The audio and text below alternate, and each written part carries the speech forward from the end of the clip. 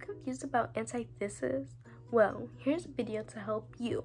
The word antithesis is a figure of speech wherein two seemingly contrasted ideas are put together in a, a single statement using parallel grammatic structure. It may be a contrast of ideas, words, phrases, clauses, or sentences. The purpose of an antithesis is to make the readers better understand the point the author is trying to convey.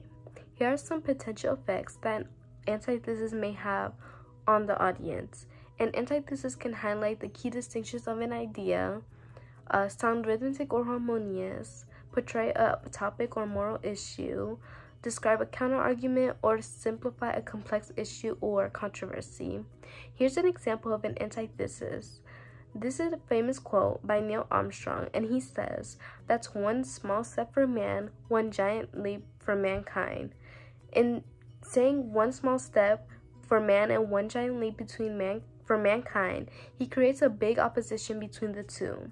The contrast shows that although Neil Armstrong is literally taking one small step onto the moon's surface, he's figuratively taking one giant leap because the moon landing itself is such a scientific, a big scientific breakthrough.